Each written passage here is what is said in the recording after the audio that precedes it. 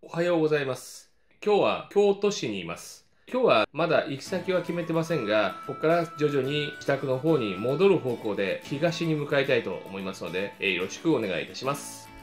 ホテルの京都四条烏丸からトロッコ亀岡駅までは約車で45分、19キロぐらいありました。ここは峠越えがあるので結構距離があります。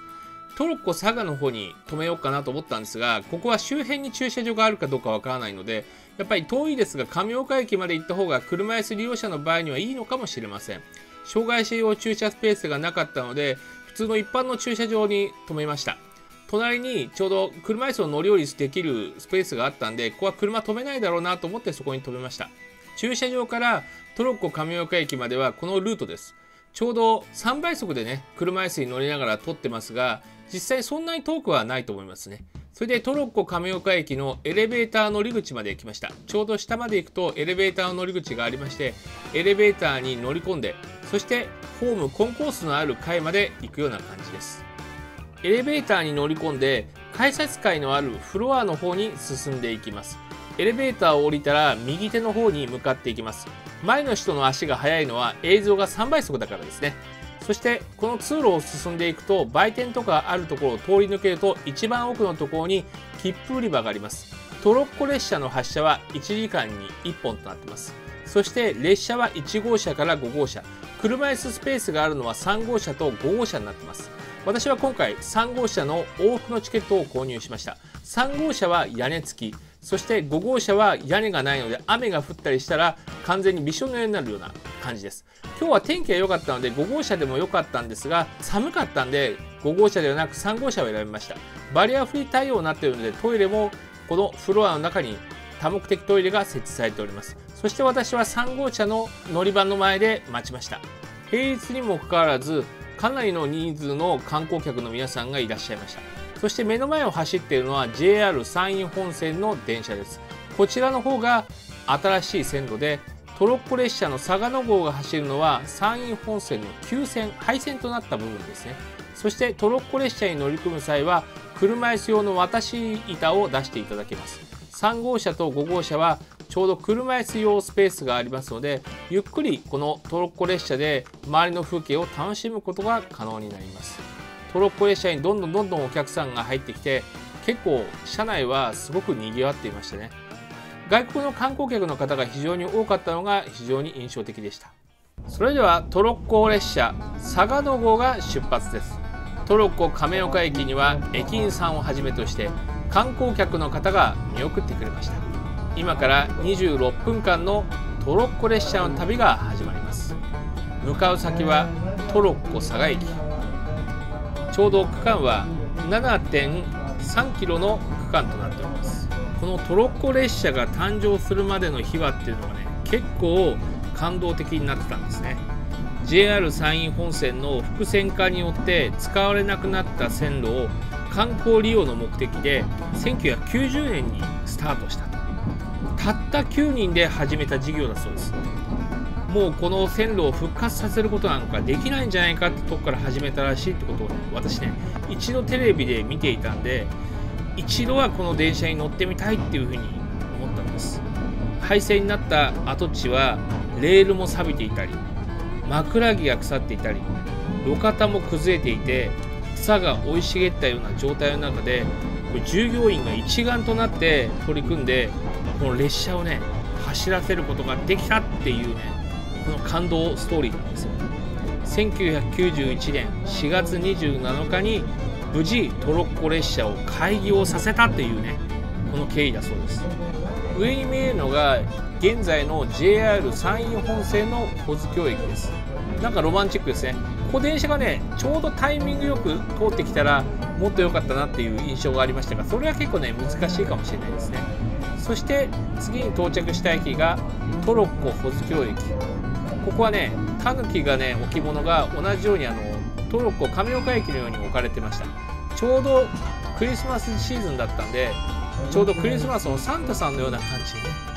ここずっと飾られてたんですがここの駅は残念ながら車椅子で降りることはできないわけです。ここ階段しかないししかも多目的トイレもないっていう形なんで車椅子で乗る人はトロッコ亀岡駅からトロッコ佐賀駅までね途中下車するのはちょっと難しいと思います。途中にあるトロッコ嵐山駅もやっぱり同様に車椅子で降りることは難しくなってるみたいです。階段が60段ほどあって多目的トイレがないというのがこのトロッコ嵐山駅なので最初の終点と終点の間の2つの駅は利用することがちょっと難しいかもしれません。人手不足の中でスタートをしながら今ではもう100万人を超える観光産業となっているんですね。だから私としては一度この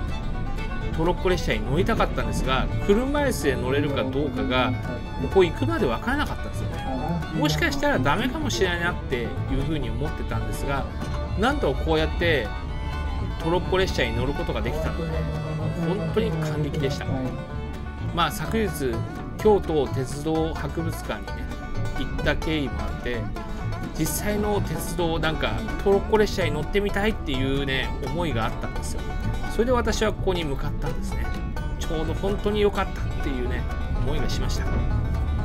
トロッコ嵐山駅を出発すると JR 山陰本線の現在の線路に合流していくんですよ。これがまたね多分鉄道が好きな人にとっては魅力的な区間だと思います。そしてトロッコ列車は終着駅であるトロッコ佐賀駅に到着をします。このトロッコ列車はこの佐賀駅で折り返し運転をします。私は1時間後の列車を待つことにしました。車椅子用渡し板を駅員さんに出していただき3号車から降りました。トロッコ佐賀駅の外の様子です。隣には19世紀ホールというものがありますが一旦このスロープを通って19世紀ホールに車椅子利用者は入るような形になります。隣には JR 佐賀嵐山駅があります。もし例えば新幹線でこのトロッコ列車に乗りたければ逆に JR で来てこの佐賀嵐山駅で降りて隣のトロッコ佐賀駅からトロッコ列車を乗るという方法もあるでしょう。それで私はこの蒸気機関車の前で写真撮影をしました。折り返しの列車が到着するまでどこで休もうかなと思ってたんでこの19世紀ホールで休むことにしました。飲食店があってそして奥の方には SL が3台連なっていました。やっぱり蒸気機関車いいですよね。すごく魅力的な列車でしかもデゴイチがあったんですね。これね今はなんかデゴイチは展示されてないみたいですがやっぱり間近でこの蒸気機関車を見るとすごくかっこいいなって感じします。ちょうど昼ご飯を食べてなかったのでこのピラフを食べました。美味しかったです。これのんびりしてたんですがもし時間があったんだったら私はジオラマ京都ジャパンでちょっと楽しみたかったかなっていう風なちょっと後悔がありますね。私はこのジオラマ京都ジャパンがこの施設にあったとは全然知らなかったんですね。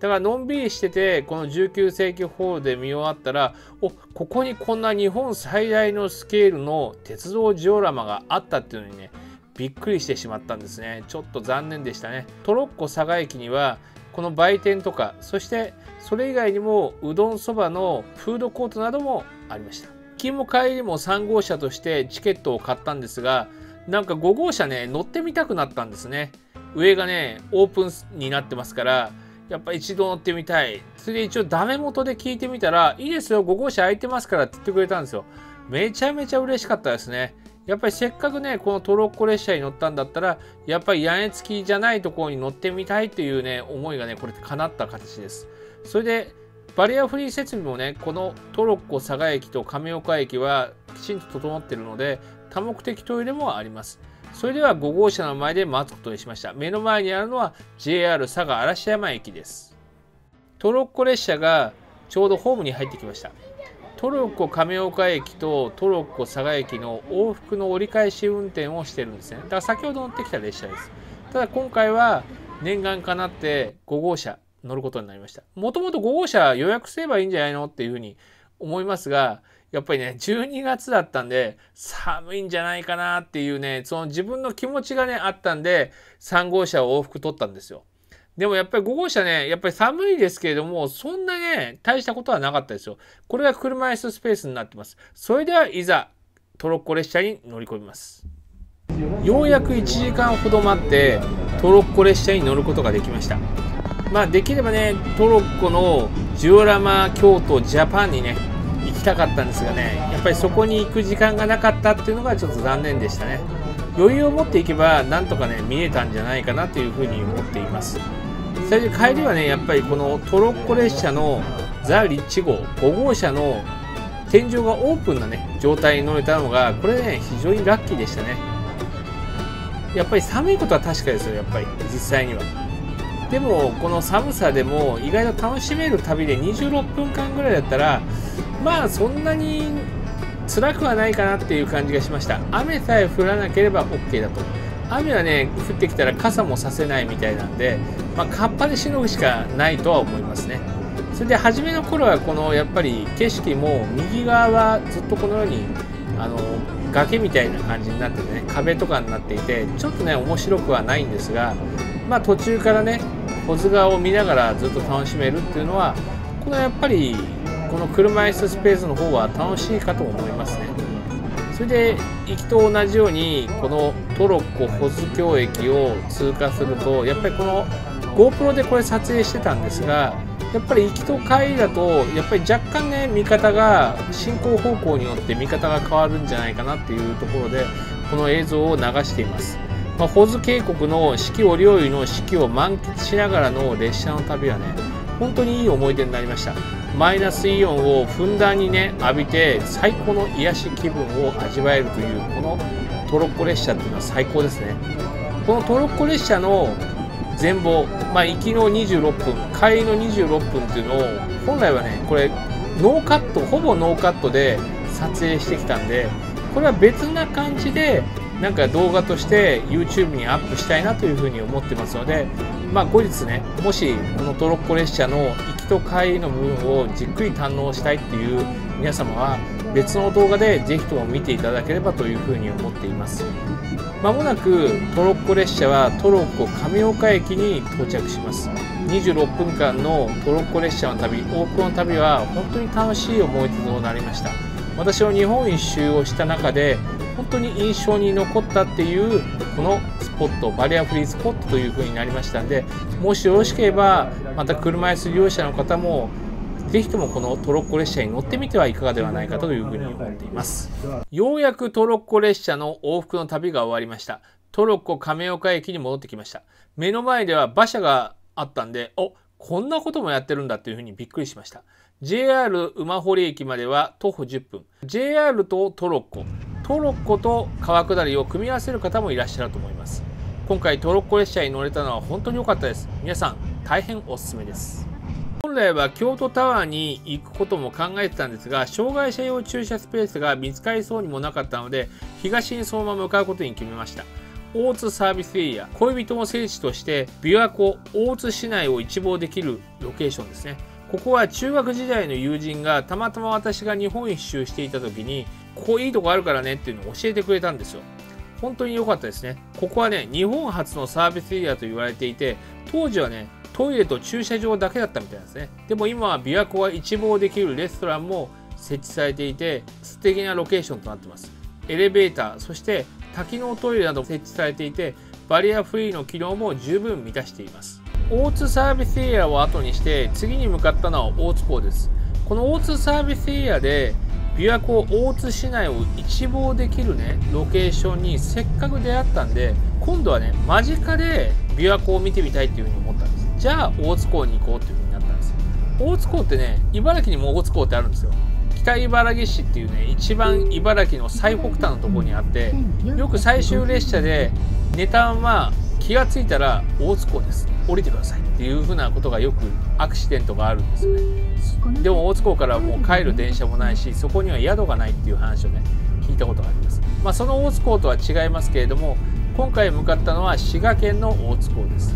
一般道で乗ってさほど遠くはなかったですね。浜大津にあるこの大津港です。この大津港で何があるかは全くね予測はつかなかったんです。もうホームページ調べてもなかったですし何かあるんじゃないかなというふうに思ったんですよねそして船があると。そしてレストランもあると。おじゃあ行ってみるしかないかなって思って行ってみたんです。そしたらね船があったんです。おじゃあこれまた遊覧船かなんか乗ることができるのかなっていうふうに思いました。琵琶湖汽船と書かれてました。ワクワクワクワク。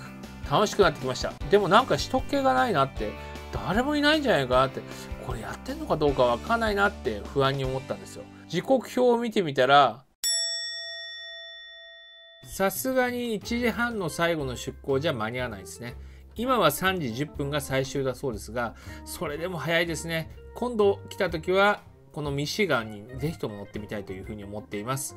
最後はタガサービスエリアです。ここで食べたのは近江牛のひつまぶしです。これがめちゃめちゃうまかったですよ。うなぎのひつまぶしっていうのを食べたことがあるんですが牛肉のひつまぶしは初めてでした。これはものすごく美味しくて私にとって日本一周した中でのかなり上位ランクに入る食べ物です。そして多目的トイレもねここは設備もしっかりしてありました。